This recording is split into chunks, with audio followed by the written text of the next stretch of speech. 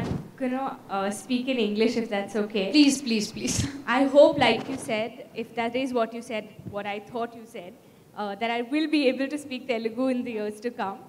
Uh, but for today, please excuse me while I speak in English. Um, I think, Srivasa, you've made us all very emotional with your speech right now. There are a few movies that you feel really humbled to be a part of because right from the script level, you know that there's something special about it and it is one of those movies that would go down history.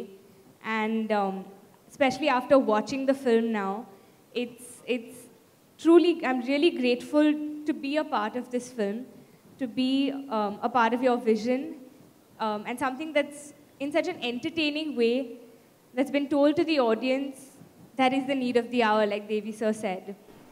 Mahesh sir, it's a huge privilege for any actor to act opposite you. And it's a treat to work with you and perform with you. To just see your energy and your enthusiasm to, to be on set and try new things and do every scene uh, more interestingly and take one more take. And just seeing that passion makes me as a newcomer really inspired and hopefully to, you know, to, to continue and have a career that's maybe a 1% of what you had. It'll be amazing. Thank you so much, sir, that you've um, had faith in me and cast me in this film and made me a part of this film. Thank you, Danayya Garu, for not only this film, but I'm also doing a second film with you. It's uh, a huge, huge honor to be, um, to be a part of uh, these wonderful films.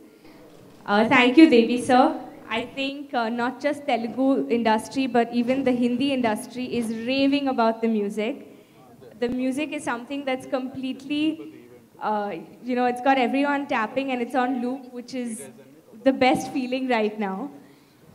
Thank you to everyone. Thank Brahma sir, it's a delight to watch you on screen. It's, I mean, all your scenes with Mahesh sir, even when you were in the car and you were seeing me at the bus stop, those little moments were just so touching and um, really, truly a delight to watch you on screen.